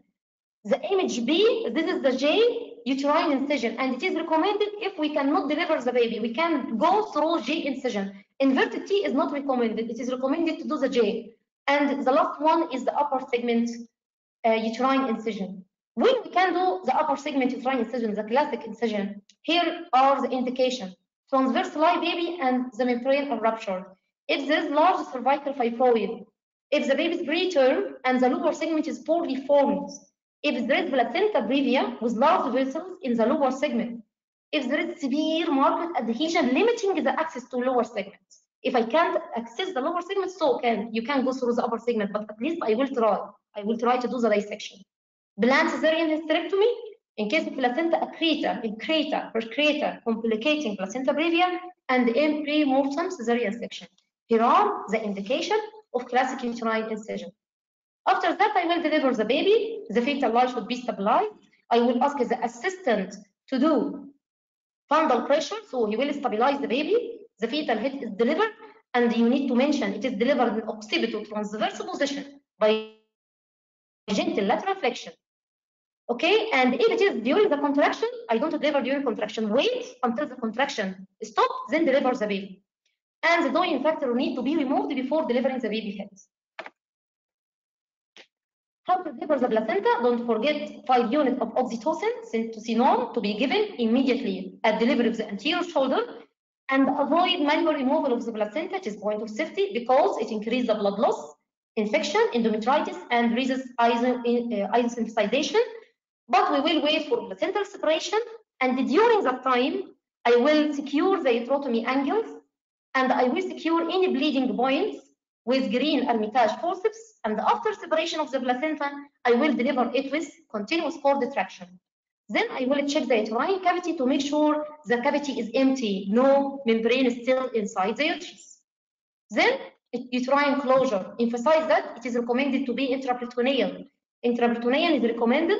I will secure the angle first with full thickness sutures, and before closing the lower segment, I will make sure that there is no bleeding within the placental bed, and the closure will be two layers.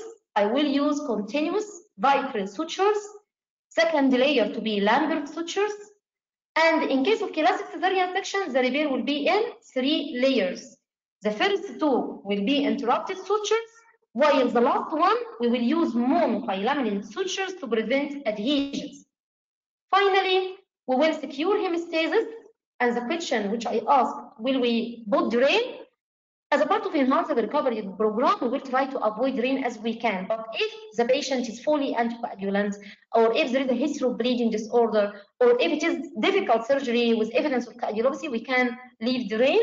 And it needs, as long as it is intraperitoneal, to be soft, large pore, and non-suction. If you use suction, can, it can be used only for rectal sheath drain. But if you do that, you will close the peritoneum. As you know, we not close the visceral or parietal peritoneum. But if you are going to do or to put suction drain to the rectal sheath, close the peritoneum. Okay? So then we will close the rectal sheath with continuous number one polyfilaminate sutures and the subcutaneous to be closed if more than two centimeter, but if less, we will not close the subcutaneous. And finally, we will close the skin, whatever method which is uh, uh, accepted by the patient, whatever it is uh, sub-Q or with a tablet, uh, staples. So the method of skin closure need to be discussed with the woman. And finally, don't forget swab and instrument counts. Hopefully it is clear now. Anyone have question? Let me know. Uh, Dr. Rasha, that regarding Yes. that uh, drains, uh, I didn't understand that one. See, you- if you mean to say that if you are putting the drain uh, in the rectus sheet, uh, in the uh, that peritoneum, whether to close the peritoneum or not, that I didn't get it actually. It is intraperitoneal drain, Mm. I mean that usually because you are afraid that the uterine angle may be bleeding intraperitoneal, so it will be non-suction. But in case drain, because you are afraid from rectus sheath, if you need to do suction uh, hematoma or whatever above the sheath, and you need to do suction drain, you need to put suction drain at this time. First, close the peritoneum. Don't leave the. Anyhow, it is above But the the standard sheet, is no? non-suction drain. Drain opens. No, no. What I am saying is anyhow the rectus sheet is Is being closed. No, no, I understand. See, Sorry? uh, periton. No, if if you are putting the suction drain in the rectus area, that is almost we have sutured a rector sheet already. It is in the it is it will be the suction drain will be between the rectus sheet and the skin and the subcutaneous tissue. That's all. Then why we are worried about something inside a peritoneum? It is a rectus drain. If you like, if in case if you are putting an intraperitoneal drain, that is be, beyond that time, and that time we have to close. It's only the visceral peritoneum which we need to close, because uh, Even if you, I, I, I understand your point. Even if you close the rectal sheath, you said why to close the peritoneum. This is your question. yeah, Am I that's right? what. Yeah, that's what I. Yeah, I, that's what I didn't get it because any rectus is- sheet- once rectus sheet is closed, finish. We are not into the abdomen, into the cavity. uh, It's only superficial. Wh- What is the guarantee that the rectal sheath will not de uh, dehiscence within that scar tissue you did? It is not now healed. Still, there is point of not healing, or even one of your sutures material broke. So to be safe, close the peritoneum. Okay. There is spaces between your sutures and material. You, you, you leave at least one centimeter between every sutures. So close the Yeah, peritoneum before putting this suction blade. Am I make sense? Mhm. Yeah, yeah, yeah, yeah. I got, I Okay. got know. Yeah, I got know. Yeah. Thank you. You will. Any more questions?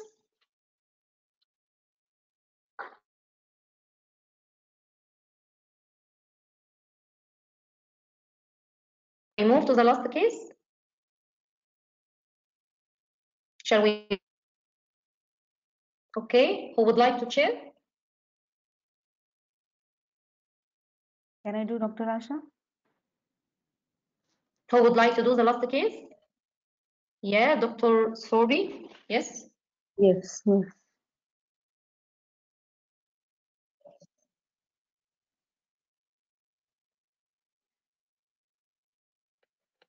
Okay. You have now two minutes. Okay.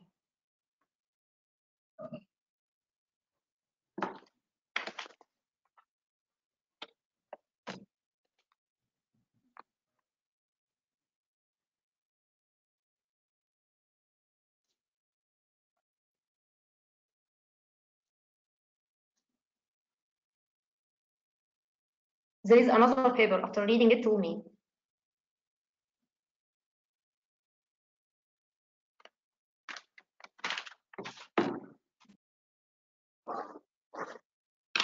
Next slide.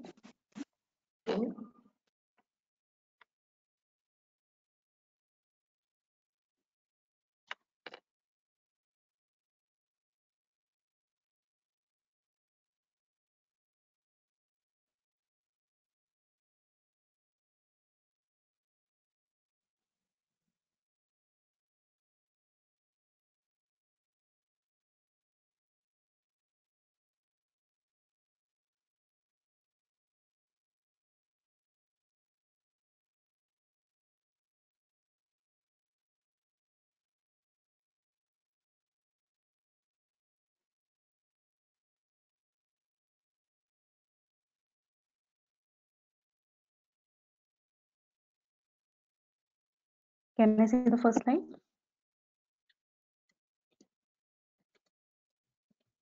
Dr. Rasha, can I see the first slide? This is the first one.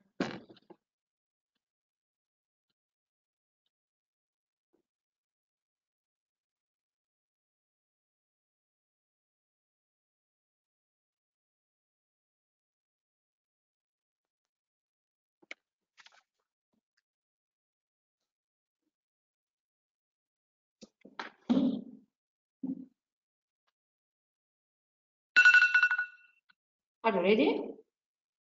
Yeah. Let's start. Hello, I'm Surbhi, ST5. And you? I'm sorry, the, the FY2. How would you like me to call you? Yeah, sorry, it's fine. Okay. So, Sarah, as I understand that you have joined the department recently, is it? Yes. Yeah. How are you finding the department? Yeah, it's a very nice department. Everyone is supportive here. Yeah. In case you have any problem, please feel free to come to us. We all are there to help you, Sarah. Thank Okay. you. So, yeah, Sarah, I can see that you have filled a consent form for elective cesarean. Yeah. Hey, that's very good. So, uh, Sarah, have you filled the consent form before? And no, actually, it was my first time. Is something went wrong? Oh, no, no, no. Just we are going to discuss the consent form. Okay. Mhm. So, uh, Sarah, now we will be taking up this consent form which you have just filled, and we will go along with it and we will see how we can make it better. Will that be fine? Okay. Okay. So, uh, Sarah, what do you understand by valid consent? Do you have any idea about it? No, actually, uh, consent it doesn't uh,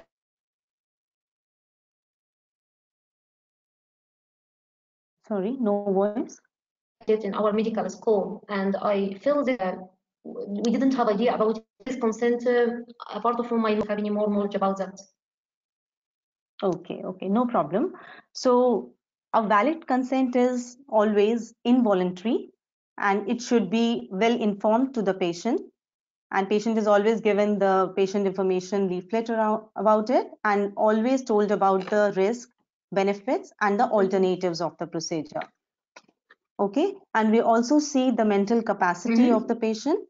Is the patient mental capacity uh, he if uh, he or she has the mental capacity he can give the consent for that. Am i clear sarah hello can you please repeat any one point of the valid consent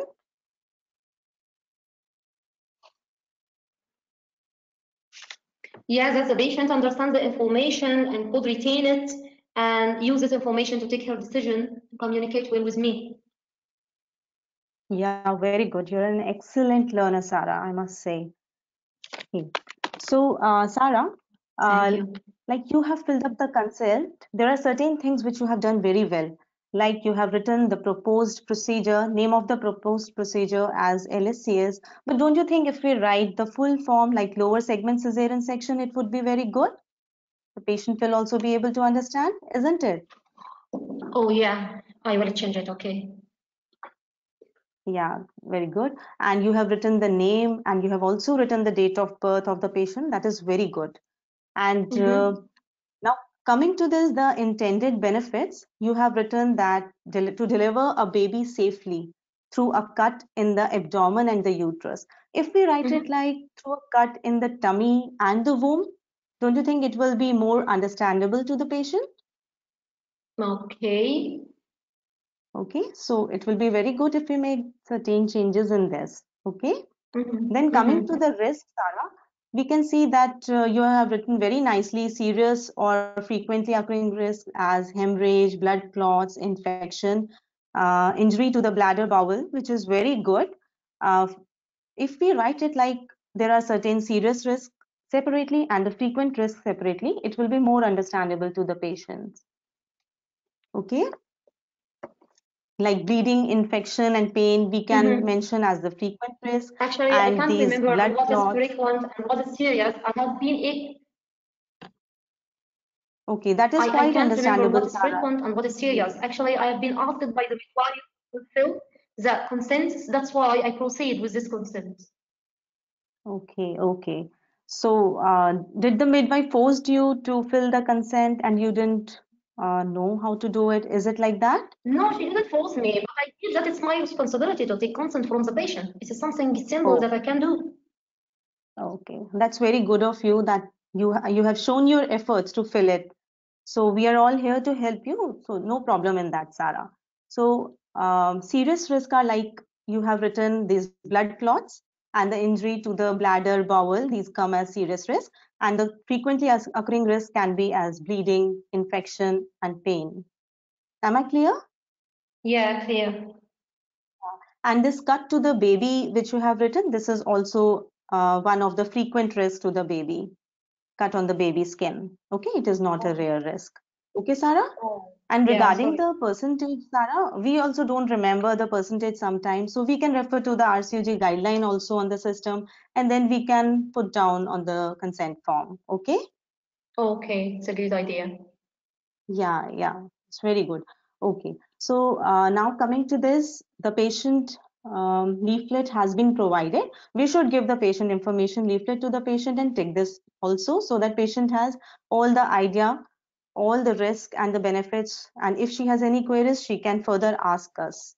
Okay Mm. and also written like general anesthesia or regional anesthesia which is very good and you have signed the form also which is very good and you have written your name and it will be very good if you write it uh, more clearly it will be more legible because it is a legal document as well uh, we might need to produce it further in the court in any case it happens so we are safe and it is everything should be legible in it okay sarah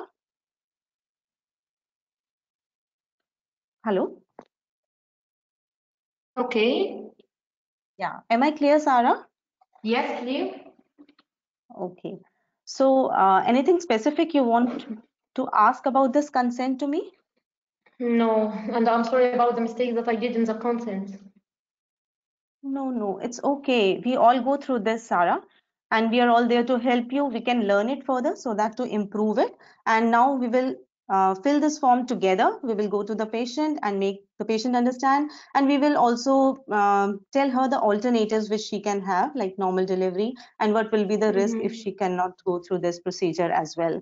I will give you the RCOG GTG guideline also regarding this. And uh, RCOG has the consent advice for the cesarean. You can go through that. Okay. And uh, Mhm. there is a StratOG video also which shows about the consent and the, this procedure because you need to be very sound with the procedure. And one thing more, Sarah, uh, this consent Mhm. should be signed and taken by the person who is doing the procedure or who has been trained to do this consent and who knows what are the risk, benefit, alternatives, everything. Am I clear, Sarah? Oh, yeah, clear. So what can I do if someone asks me to do a consent? I will You apologize can for just that or what? No, you can always come to us. We are there to help. And anyone who is doing the procedure can take the consent till you get the get your training done for the consent. Okay, Sarah? Yes, okay.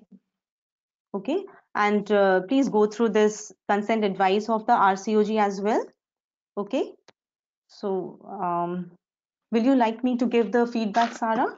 How did it go? Anything which I can do to improve oh. your Oh, learning about this?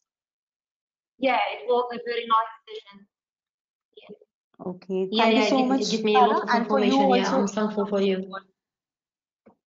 It was very good as a first attempt from you, Sarah. Thank you. Thank you for your time. Thank you. Oh, wow, you still have one minute and 20 seconds. You did it very well.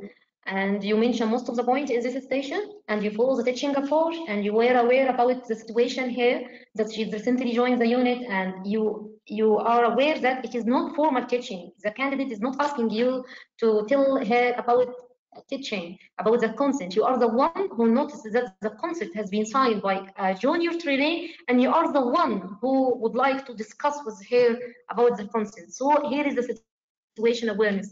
Don't enter the cubicle and tell that I know that you are the one who would like to discuss about consent. And surprise that the role play will tell you no. I don't want to take a teaching about consent. So be careful of the situation. What is the situation here? And you did it very well, doctor. And you continuously check understanding and ask me to repeat what you did. And you provide me about sources, how to go through uh, the consent and how to know about uh, benefit and risk of cesarean section. So you did it very well. Apart from only uh, try to put agenda in your session.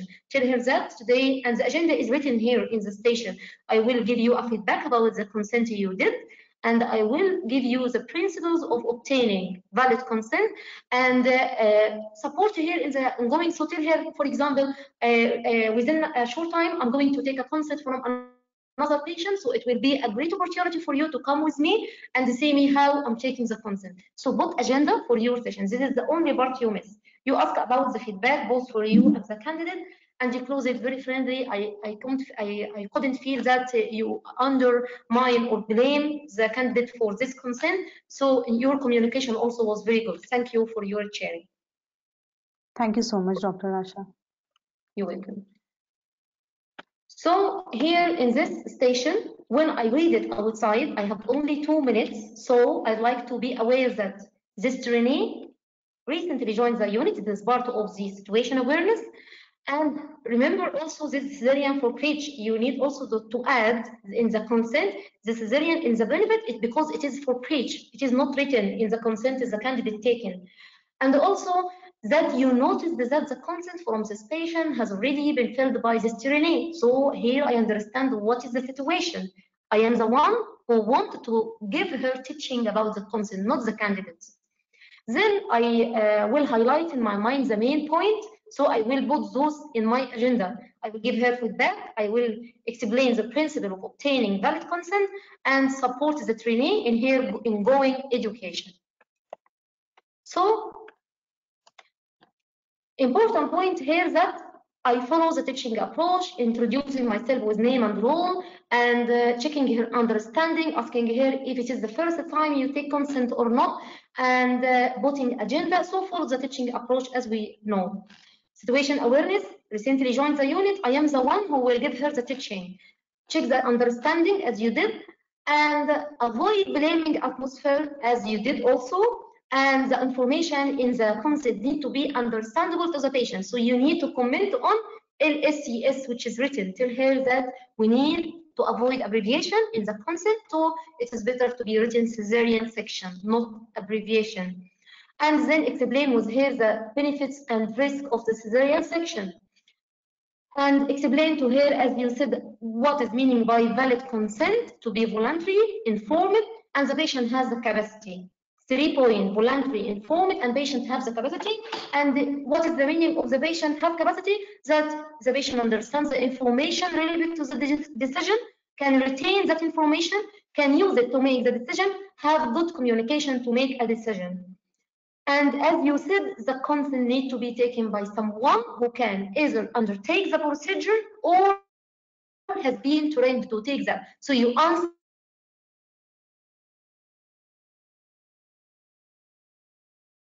someone asked me to take a consent. So here's the way when I ask you, what can I do if your proper answer, yeah, you can finish, and the consent need to be taken by someone who is trained or who can undertake the procedures. So it is not advisable to take the consent without previous training, and you can provide support for the candidate by telling as I'm going to obtain consent from another patient. So after taking the patient permission, it will be a great opportunity for you to come with me to learn more about obtaining consent. So you're supporting the trainee in her training. If a colleague asks you to share information or obtain consent from a patient on their behalf, you must be satisfied that you have the necessary knowledge and the skills to do. If you are not, you should explain this and seek support. This is copy paste from GMC Good Medical Standing. It is written like there. If anyone asks you to do something, take consent, give information to patient, and you feel that you are not satisfied by your knowledge or skill, don't do that. Apologize and ask for support. This is also the answer for the role player question. And here is the proper cesarean section consent. It is written cesarean section. We avoid abbreviation. And here, the benefit deliver the baby through a cut in the abdomen or tummy, whatever, or in the womb. And here you can add because it is breech. And also, doctor, take care that you uh, you said uh, we need to tell the patient about the option of vaginal delivery. Take care because the situation here is different. You are about to carry the cesarean section. The patient already already make a decision to have a cesarean section. So be aware of the situation also. It is not the case that you will still discuss with the patient about uh, the vagina, vagina, and you will not write this in the consent. She is already made the decision and she's about to sign the consent. And then, as you said, we can categorize the risk into serious or frequent risk. And here are the serious risks and the frequent risk. The candidate uh, make mistake that he writes uh, the blood clot risk wrongly. He write it one percent, but it is one of the serious risks. It's only four to sixteen per one thousand. And also he writes the cut in the baby skin